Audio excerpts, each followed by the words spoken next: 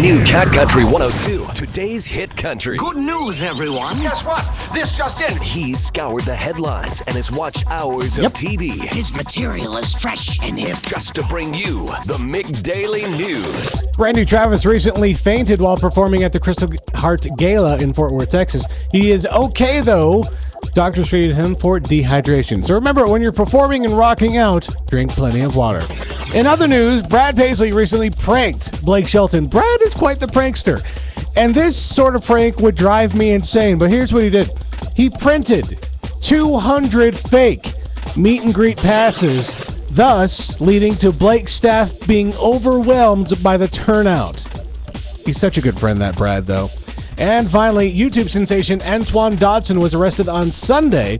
The Huntsville, Alabama, uh, uh, Alabama police stopped him for violating a local noise, noise ordinance before discovering he had an outstanding warrant for his arrest. Now, I wonder what was he making so much noise about? Well, obviously, we have a rapist in Lincoln Park. He's climbing in your windows, he's snatching your people up, trying to rape them. So y'all need to hide your kids, hide your wife, hide your kids, hide your wife, hide your kids, hide your wife. Mick Mornings with McWilley. We'll be right back on the new Cat Country 102. We, the sponsors, invite you to listen to The relaxing sound of advertising. Hey, thanks for watching the McDaily. Have a fantastic day, and remember, Bob Barker had it correct. Have your pets spayed or neutered, and have a fantastic day. I like to say fantastic and to have a good day. Meh.